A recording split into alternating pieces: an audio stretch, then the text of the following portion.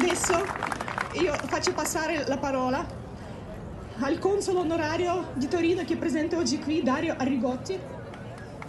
Finalmente vedo da italiano, da europeo, che qualcosa sta cambiando nell'atteggiamento dei governi. Hanno capito finalmente che l'Ucraina è il primo boccone che la nuova Unione Sovietica, che si chiama adesso in un altro modo, vuole fare della libertà. L'altro ieri Putin ha detto chiaramente che se Svezia e Finlandia osano pensare di entrare nella Nato faranno la stessa fine dell'Ucraina. Questo lo ha detto. Allora vedo che finalmente in tutte le capitali dell'Unione Europea, in tutte le capitali della Nato si sta facendo chiara avanti la comprensione di quello che occorre fare. Occorre fermare questa invasione, occorre ricacciare questa invasione.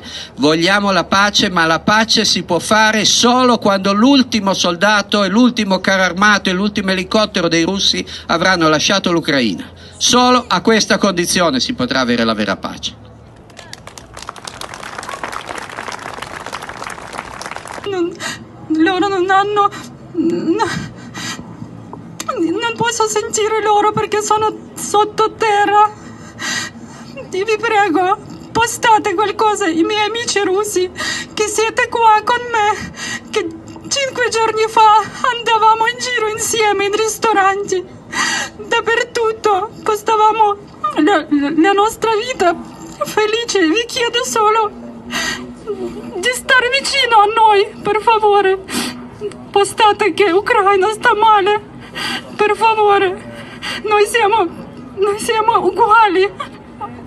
Non deve essere la guerra. Noi vogliamo la pace. Noi siamo ucraini. Slava Ucraini!